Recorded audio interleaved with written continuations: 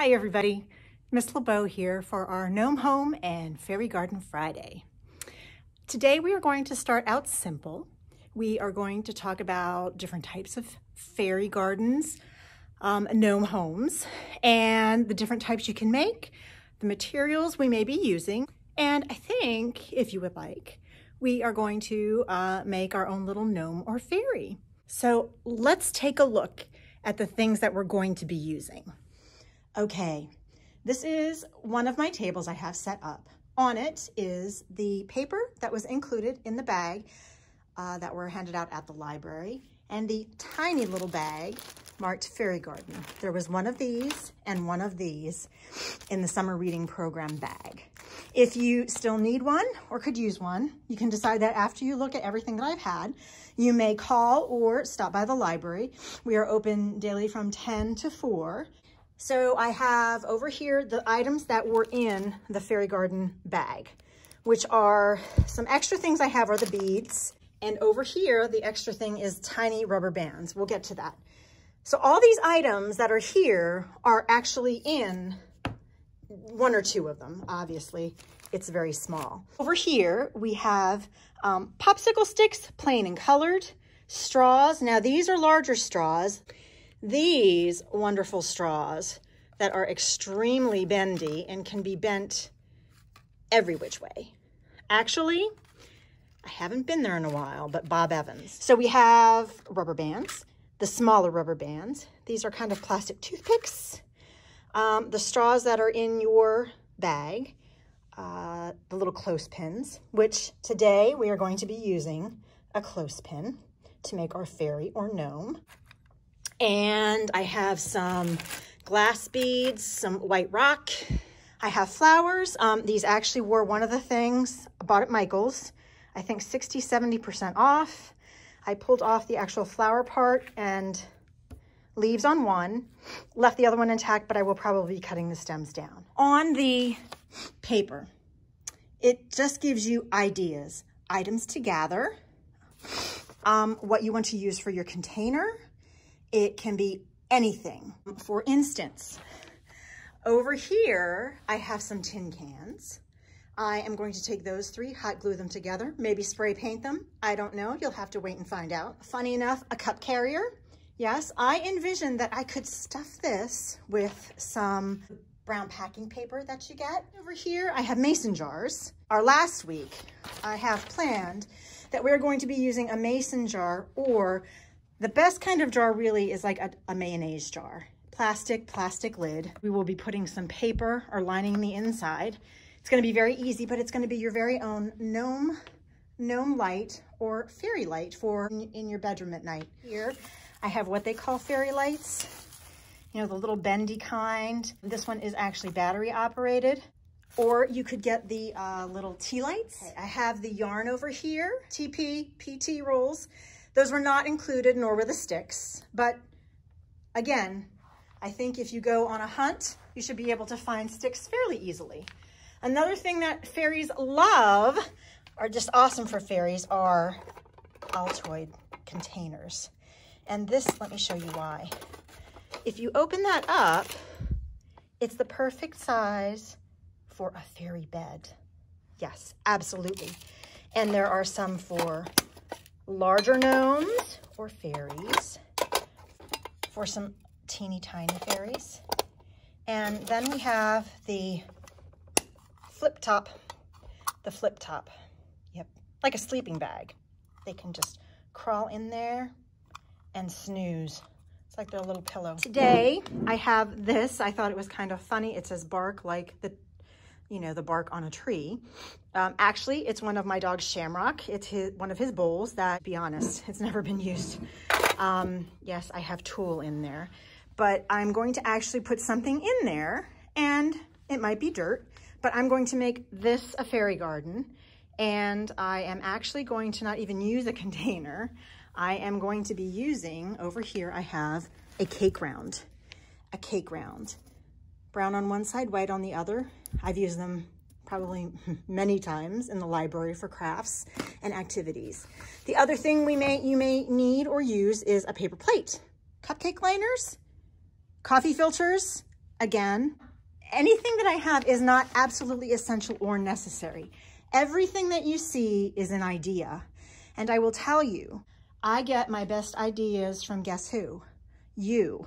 And that is what makes it awesome. Absolutely awesome. I think we should get into making, making our gnome home fairy garden base and a gnome or a fairy. Okay, so now I have my items laid out on the table and we are going to begin to work on our um, gnome or our fairy first. So let's go. So here are the items that I may or may not use in making my gnome or fairy. This is our bag that has some of the items in it. Again, you may call or stop by the library. I believe we have some left over. I have fuzzy sticks. I know in your in your little bag, you got one little piece of silver and I'm going to use that. You also got a length of string. I brought some of my own ribbon. And also one thing, cupcake liner, coffee filter, cotton ball, scissors. I do have a marker on one of mine. I am going to try to make a little face, draw it myself. And these are the things that are going to be used uh, to make our fairy or gnome. So I started my first gnome. You have this clothespin in the little bag. Any clothespin, again, you can use a popsicle stick if you have any of those. People have even made them just from um, pipe cleaners as well. I gave him purple pants, a green hat, and this is the piece that you uh, had received. And I am just going to wrap this around very simply for a shirt. So he has a sparkly shirt and I do have a black marker. Let's see how this goes.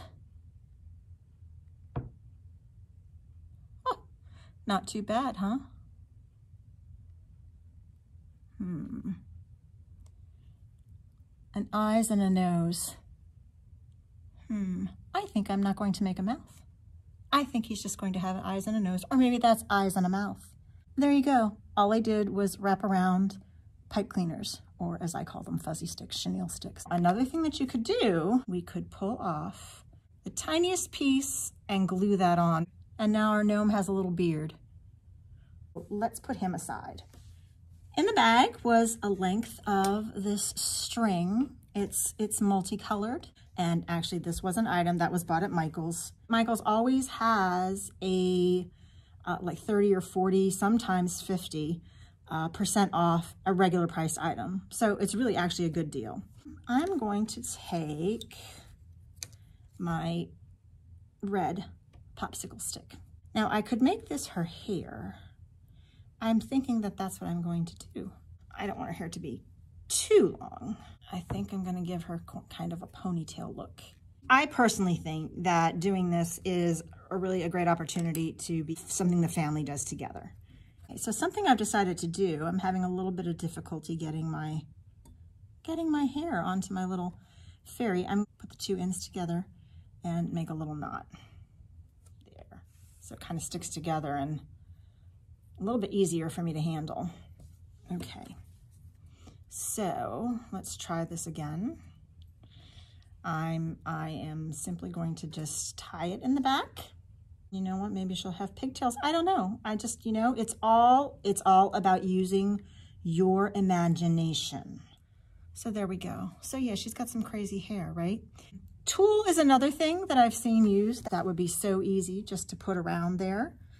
You know, you could even tie it with some ribbon, some string, actually, what I'm thinking is that I was just going to use it to make the wings for my fairy.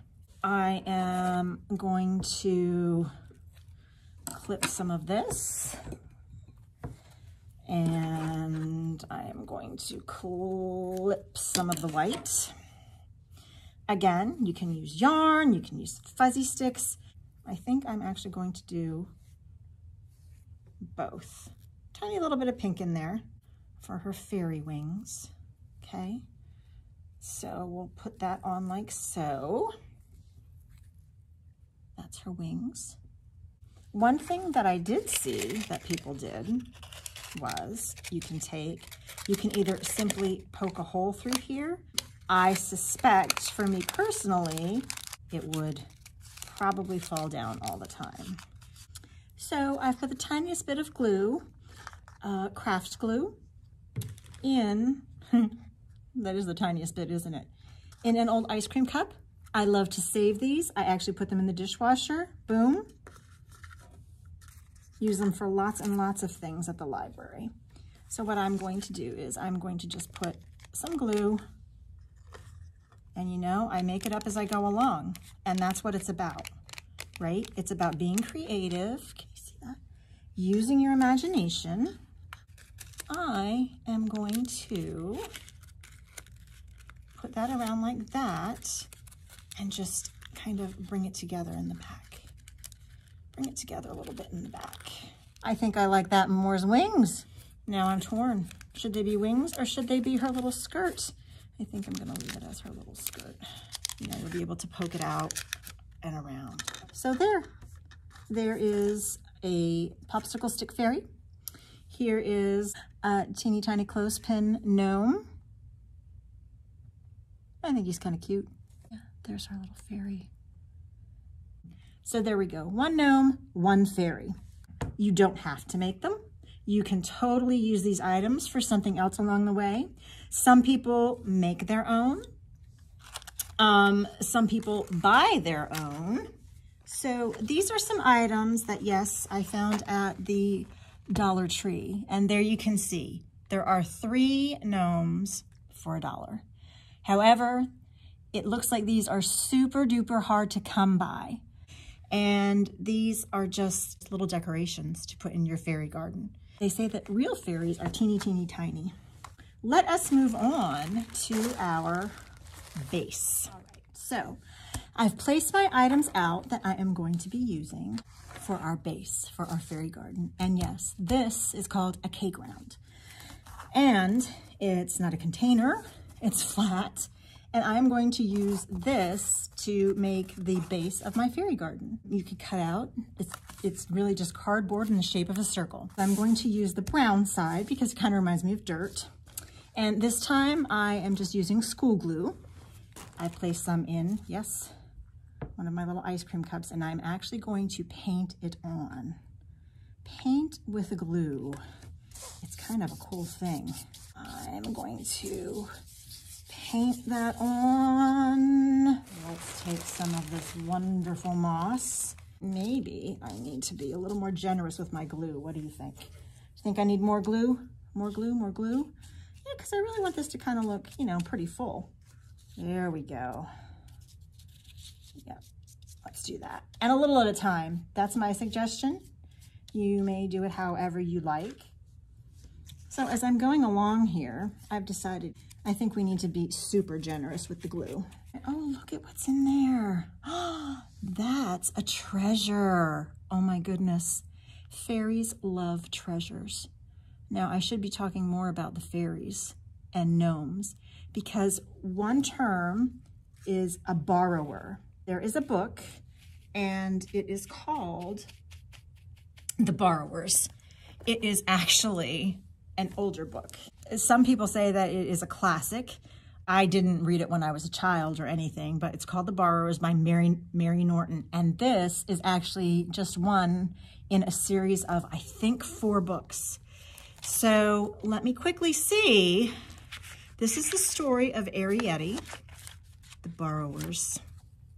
This book was cataloged here in 1988 it looks like it was originally written in 1952. So I'm almost done putting on my moss. It's a lot of glue. And yep, you see what I'm doing? I'm actually just pouring it right on there. Another thing I chose to use on this, um, the brown side, the white side is shiny. So I kind of thought, hmm, I think a better chance that it will stick really nicely on, on this side. I'm pretty happy with how this is going so far. I found some treasures. I found some sticks.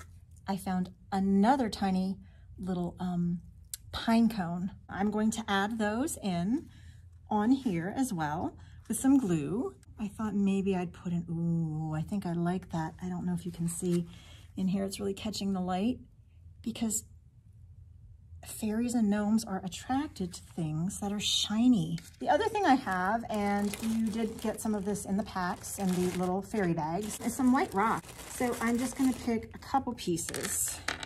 I'm just going to put it over here. I don't even know what it's gonna be yet. I haven't decided, but I wanna jazz up. I wanna jazz up my space just a little bit with some color. So there we go. I'm gonna put those right in there. Oops. A little rock pile, little rock garden maybe. You know what? I'm gonna stick pine cones right there. And maybe stick my other pine cone over here. There we go. Awesome. Put a stick there too. Here. So this is what I have so far. I put the stick in there, just a couple little things just to get started. I think I'm gonna put my, my little gnome. I think this will be a great spot for a gnome home with this. But to be quite honest, I really kind of like the way this looks. And I came across something else, uh, don't have it with me today, um, that I thought I might use as something really cool for a fairy garden. But look, it's just, it's tulle. You know, if you had some uh, nice tissue paper, does it look yummy enough to eat?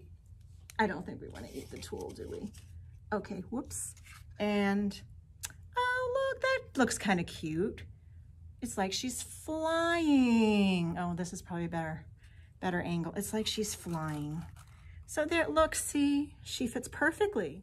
So the gnome home and our fairy garden, our base, our start. All right, kiddos. I know this was probably not exactly fun fun today.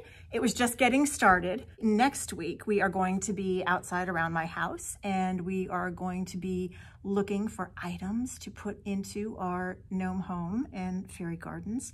So I hope you look forward to that and Shamrock will be there too. So you'll get to see the pupper again.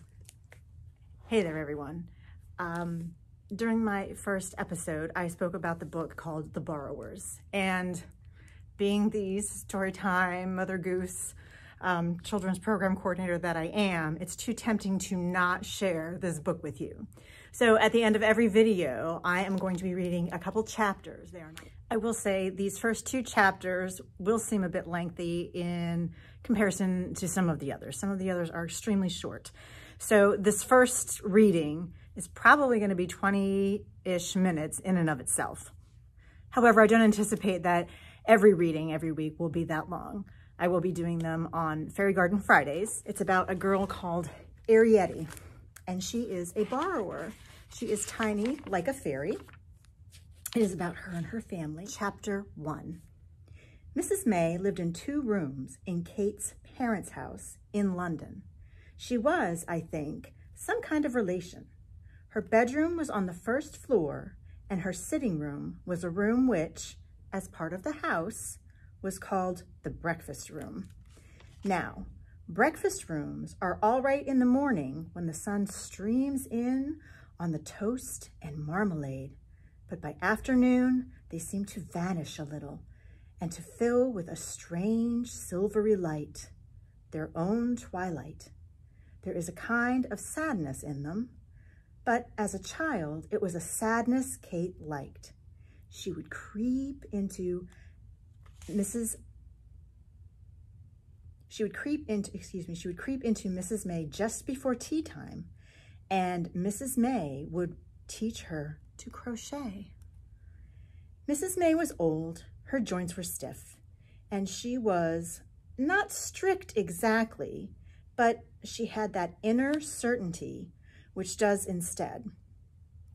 Kate was never wild with Mrs. May, nor untidy, nor self-willed, and Mrs. May taught her many things besides crochet. How to wind wool into an egg-shaped ball, how to run and fell and plan a darn, how to tidy a drawer and to lay, like a blessing, Above the contents, a sheet of rustling tissue against the dust. What's your work, child? asked Mrs. May one day when Kate sat hunched and silent upon the hassock. You mustn't sit there dreaming. Have you lost your tongue? No, said Kate, pulling at her shoe button. I've lost the crochet hook. They were making a bed quilt in woolen squares. There were 30 still to do. I know where I put it, she went on hastily. I put it on the bottom shelf of the bookcase just beside my bed. On the bottom shelf, repeated Mrs. May, her own needle flicking steadily in the firelight. Near the floor? Yes, said Kate, but I looked on the floor, under the rug, everywhere. The wool was still there, though, just where I'd left it. Oh dear, exclaimed Mrs. May lightly. Don't say they're in this house too. That what are? asked Kate. The borrowers, said Mrs. May, and in the half light she seemed to smile. Kate stared a little fearfully. Are there, are there such things? she asked after a moment. As what? As people, other people, living in a house who borrow things? Mrs. May laid down her work. What do you think? she asked. I don't know, Kate said, pulling hard at her shoe button. There can't be. And yet, she raised her head, and yet sometimes I think there must be. Why do you think there must be? asked Mrs. May. Because of all the things that disappear. Safety pins, for instance. Factories go on making safety pins, and every day people go on buying safety pins, and yet somehow there is never a safety pin when you want one. Where are they now? Now at this minute. Where do they go? Take needles, she went on, all the needles my mother ever bought. There must be hundreds just can't be lying about this house. Not lying about the house, no, agreed Mrs. May. And all the other things we keep on buying again and again and again, like pencils and matchboxes and sealing wax and hairpins and drawing pins and thimbles and hat pins, put in Mrs. May, and blotting paper. Yes, Blotting paper, agreed Kate. But not hat pins. That's where you're wrong, said Mrs. May, and she picked up her work again. There was a reason for hat pins. Kate stared. A reason, she repeated. I mean, what kind of reason? Well, there were two reasons, really. A hat pin is a very useful weapon. And, Mrs. May laughed suddenly, but it all sounds such nonsense and, she hesitated, it was so very long ago. But tell me, said Kate, tell me how you know about the hat pin. Did you ever see one? Mrs. May threw her a startled glance. Well, yes, she began. Not a hat pin, exclaimed Kate impatiently. Uh, whatever you call them, a borrower. Mrs. May drew a sharp breath. No, she said quickly. I never saw one. But someone else saw one, cried Kate, and you know about it. I can see you do. Hush, said Mrs. May. No need to shout. She gazed downwards at the upturned face, and then she smiled, and her eyes slid away into the distance. I had a brother, she began uncertainly. Kate knelt upon the hassock and he saw them? I don't know, said Mrs. May, shaking her head. I don't know. She smoothed out her work upon her knee. He was such a tease. He told us so many things. My sister and me, impossible things. He was killed, she added gently, many years ago now, on the northwest frontier. He became colonel of his regiment he died what they call a hero's death. Was he your only brother? Yes, and he was our little brother. I think that was why, she thought for a moment, still smiling to herself. Yes, why he told us such impossible stories, such strange imaginings. He was jealous, I think, because we were older and because we could read better.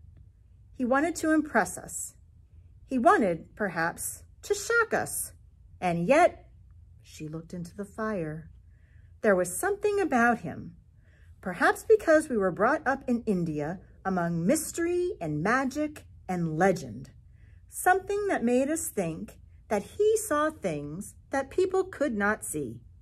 Sometimes we'd know he was teasing, but at other times, well, we were not so sure. She leaned forward and in her tidy way, brushed a fan of loose ashes under the grate. Then, brush in hand, she stared again at the fire. He wasn't a very strong little boy. The first time he came home from India, he got rheumatic fever. He missed a whole term at school and was sent away to the country to get over it, to the house of a great aunt. Later, I went there myself. It was a strange old house. She hung up the brush on its brass hook and dusting her hands on her handkerchief, she picked up her work. Better light the lamp, she said.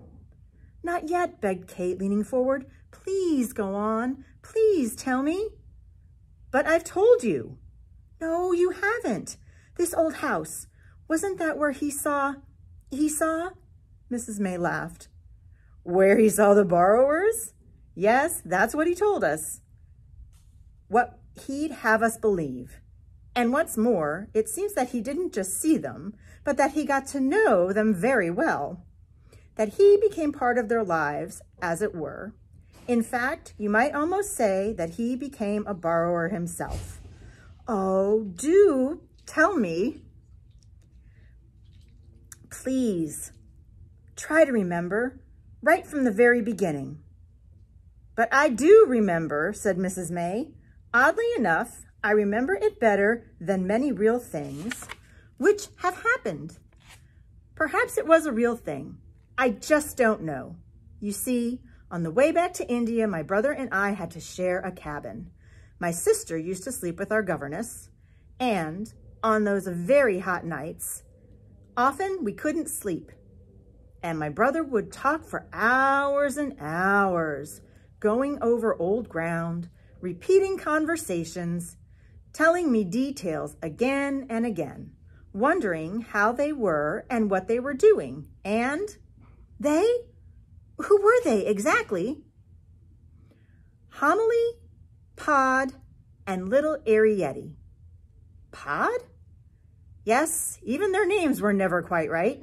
They imagined they had their own names, quite different from human names. But with half an ear, you could tell they were borrowed. Even Uncle Hendreary's and Eggletina's. Everything they had was borrowed. They had nothing of their own at all. Nothing. In spite of this, my brother said they were touchy and conceited and thought they owned the world. How do you mean? They thought human beings were just invented to do the dirty work. Great slaves put there for them to use. At least, that's what they told each other.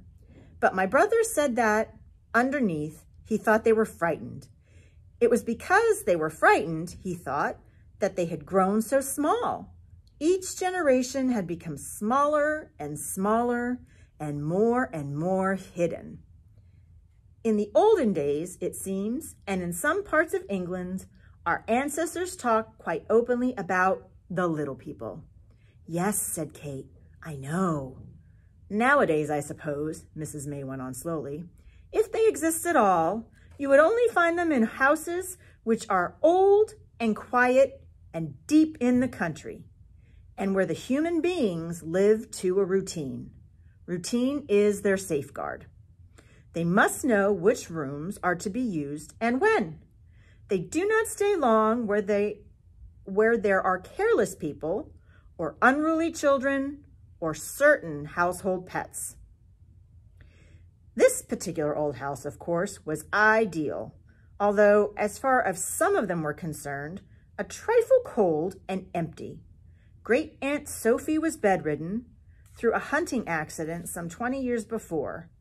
And as for other human beings, there was only Mrs. Driver the cook, Crampfurl the gardener, and, at rare intervals, an odd housemaid or such. My brother, too, when he went there after the rheumatic fever, had to spend long hours in bed, and for those first weeks, it seems the borrowers did not know of his existence. He slept in the old night nursery beyond the schoolroom. The schoolroom at that time was sheeted and shrouded and filled with junk. Odd trunks, a broken sewing machine, a desk, a dressmaker's dummy, a tablet, some chairs, and a disused pianola. As the children who had used it, Great Aunt Sophie's children, had long since grown up, married, died, or gone away. The night nursery opened out of the schoolroom, and from his bed, my brother could see the oil painting of the Battle of Waterloo, which hung above the schoolroom fireplace, and on the wall, a corner cupboard with glass doors, in which was set out on hooks and shelves a doll's tea service, very delicate and old. At night, if the schoolroom door was open, he had a view down the lighted passage which led to the head of the stairs. And it would comfort him to see, each evening at dusk, Mrs. Driver appear at the head of the stairs and cross the passage carrying a tray for Aunt Sophie with Bath Oliver biscuits and the tall cut glass decanter of fine old pale Madeira. On her way out, Mrs. Driver would pause and lower the gas jet in the passage to a dim blue flame, and then he would watch her as she stumped away down the stairs, sinking slowly out of sight between the banisters. There is a picture, not many pictures in this book, but I believe that's Mrs. Driver. She's turning out the lamp on the wall, as was stated, and I think this is the top of the stairway, top of the stairway that she's going to go down.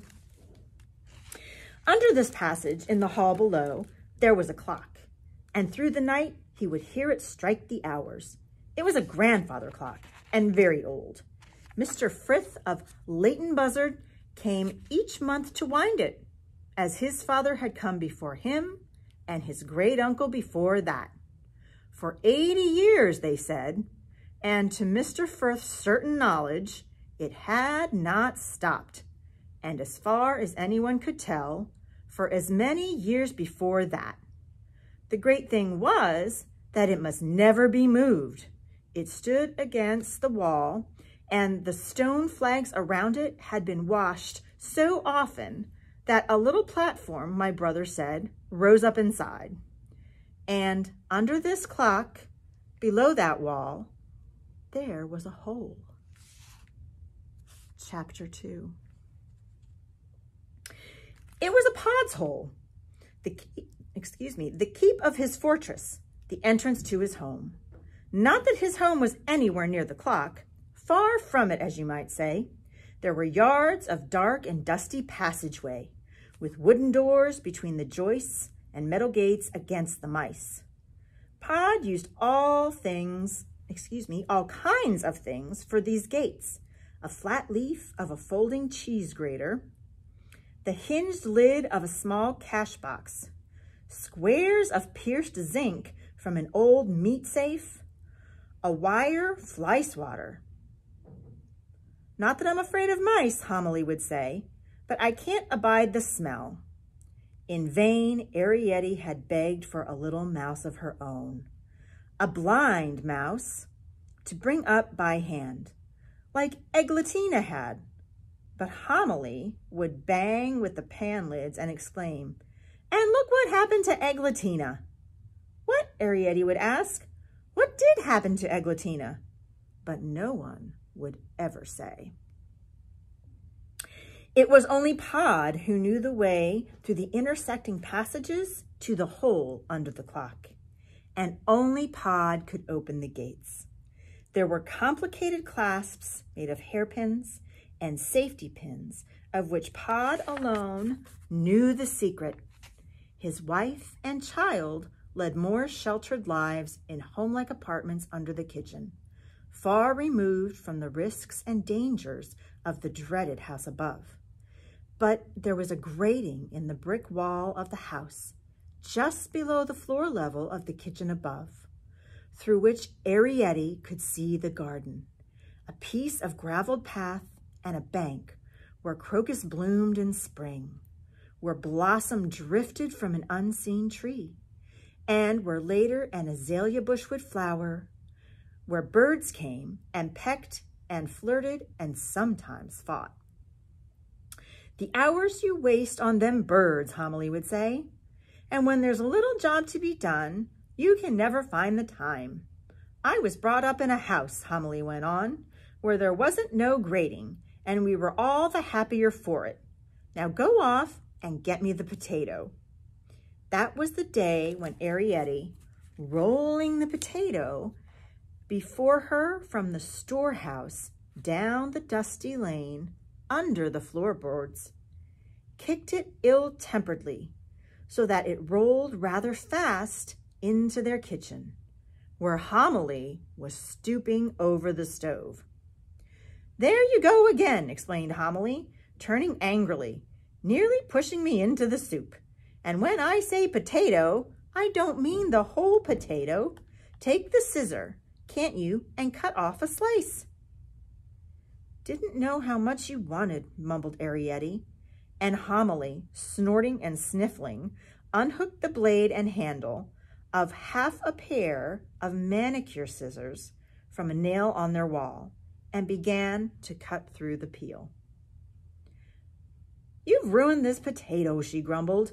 You can't roll it back now in all that dust. Not once, it, not once it's been cut open. Oh, what does it matter, said Arrietty. There are plenty more. That's a nice way to talk. Plenty more. Do you realize, Homily went on gravely, laying down the half-nail scissor, that your poor father risks his life every time he borrows a potato? I meant, said Arrietty, that there are plenty more in the storeroom. Well, out of my way now, said Homily, bustling around again. Whatever you meant, and let me get the supper. Arrietty wandered through the open door into the sitting room. Ah, the fire had been lighted and the room looked bright and cozy. Homily was proud of her sitting room. The walls had been papered with scraps of old letters out of waste paper baskets, and Homily had arranged the handwriting sideways in vertical stripes which ran from floor to ceiling. On the walls, repeated in various colors, these were postage stamps, excuse me. In various colors hung several portraits of Queen Victoria as a girl. These were postage stamps, borrowed by Pod some years ago from the stamp box on the desk in the morning room. There was a lacquer trinket box, padded inside and with the lid open, which they used as a settle, and that useful standby, a chest of drawers made of matchboxes. There was a round table with a velvet cloth, which Pod had made which Pod had made from the wooden bottom of a pillbox supported on the carved pedestal of a knight from the chess set. I wanted to show you, this is a picture, just a hand-drawn pencil type picture of what the room looked like. And I believe over here is Pod. And and that is his wife. Excuse me. Homily is his wife. So, the pillbox supported on the carved pedestal of a knight from the chess set. This had caused a great deal of trouble upstairs when Aunt Sophie's eldest son, on a flying midweek visit, had invited the vicar for a game after dinner, a game of chess. Rosa Pickhatchet, who was housemaid at the time, gave in her notice. After she had left, other things were found to be missing, and no one was engaged in her place. From that time onwards, Mrs. Driver ruled supreme. The knight itself, its upper body, so to speak, stood on a column in the corner where it looked very fine and lent that air to the room which only statuary can give. And I'm going to try to show you right there, I believe, is the knight that they are talking about in the corner of the room. Beside the fire, in a tilted wooden bookcase, stood Arrietty's library. There was a set of those miniature volumes which the Victorians loved to print, but which to Arrietty seemed the size of very large church Bibles. There was Bryce's Tom Thumb Gazette of the World, including the last census, Bryce's Tom Thumb Dictionary, with short explanations of scientific, philosophical, literary, and technical terms. Bryce's Tom Thumb edition of the comedies of William Shakespeare, including a foreword on the author. Another book whose pages were all blank called Memoranda. And last but not least, Arrietty's favorite, Bryce's Tom Thumb Diary and Proverb Book, with a saying for each day of the year, and as a preface, the life story of a little man called General Tom Thumb, who married a girl called Mercy Lavina Bump. There was an engraving of their carriage and pair with little horses the size of mice. Arrietty was not a stupid girl. She knew that horses could not be as small as mice, but she did not realize that Tom Thumb, nearly two feet high, would seem a giant to a borrower. Arrietty had learned to read from these books and to write by leaning sideways and copying out the writings on the walls. In spite of this, she did not always keep her diary, although on most days she would take the book out for the sake of the saying, which sometimes would comfort her. Today it said, You may go farther and fare worse. And underneath, Order of the Garter, instituted 1348. She carried the book to the fire and sat down with her feet on the hob. What are you doing, Arrietty? called Homily from the kitchen. Writing my diary, Oh, exclaimed Homily shortly. What did you want? asked Arrietty. She felt quite safe. Homily liked her to write. Homily encouraged any form of culture. Homily herself, not very, un, not very educated, could not even say the alphabet. Nothing, nothing, said Homily crossly, banging away with the pan lids. It'll do later. Arrietty took out her pencil. It was a small white pencil with a piece of silk cord attached, which had come off a dance program. But even so, in Arrietty's hand, it looked like a rolling pin. Arrietty, called Homily again from the kitchen. Yes? Put a little something on the fire, will you? Arrietty braced her muscles and heaved the book off her knees, and it stood upright on the floor. They kept the fuel assorted slack and crumbled candle grease in a pewter mustard pot and shoveled it out with a spoon. Arrietty trickled only a few grains, tilting the mustard spoon not to spoil the blaze. Then she stood there, basking in the warmth. It was a charming fireplace made by Arrietty's grandfather, with a cogwheel from the stables, part of an old cider press. The spokes of the coghead stood out in starry rays, and the fire itself nestled in the center. Above, there was a chimney piece made from a small brass funnel inverted. This, at one time, belonged to an oil lamp, which matched it, and which stood in the old days on the hall table upstairs. An arrangement of pipes from the spout of the funnel carried the fumes into the kitchen flues above. The fire was laid with matchsticks and fed with assorted slack, and, as it burned up, the iron would become hot. And Homily would simmer soup on the spokes in a silver thimble. And Arrietty would broil nuts. How cozy those winter evenings could be. Arrietty, her great book on her knees, sometimes reading aloud. Pod, at, at his last, he was a shoemaker and made button boots out of kid gloves.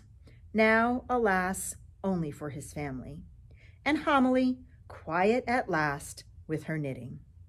Homily knitted their jerseys and stockings on black-headed pins and sometimes on darning needles.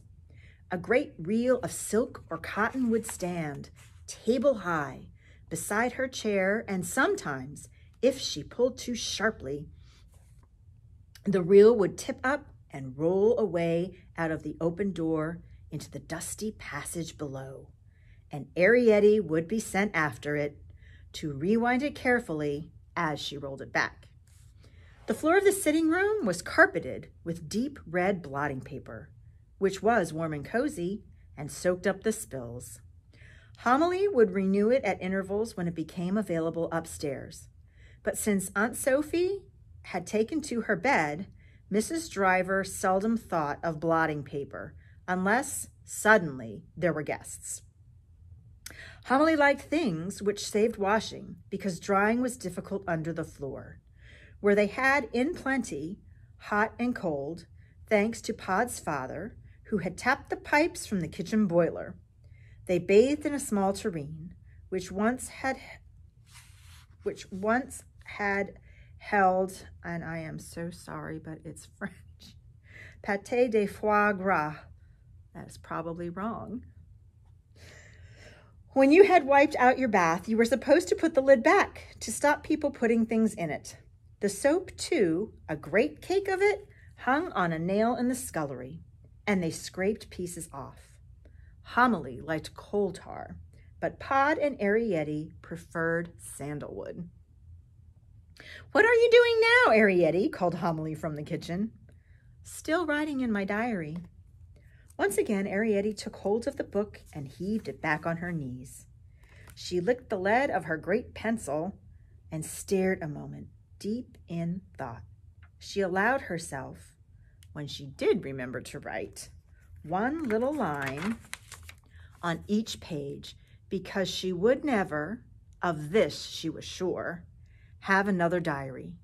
And if she could get 20 lines on each page, the diary would last her 20 years.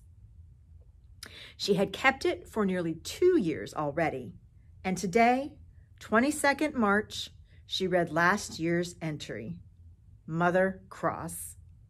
She thought a while longer, then, at last, she put ditto marks under Mother and worried under Cross. What did you say you were doing, Arrietty? Called Homily from the kitchen. Arrietty closed the book. Nothing, she said. Then chop me up this onion. There's a good girl. Your father's late tonight. That's the end of chapter two. I know that sounded like a lot. Some of the other chapters are not this long. Um, I hope you'll join me. I know it seems like a lot.